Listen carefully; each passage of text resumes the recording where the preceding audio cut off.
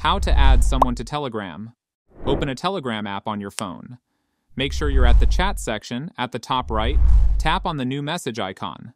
Tap on New Contact. Enter your new contact's first and last names and then their contact number in the mobile section. At the top right, click on the Create. And that's it.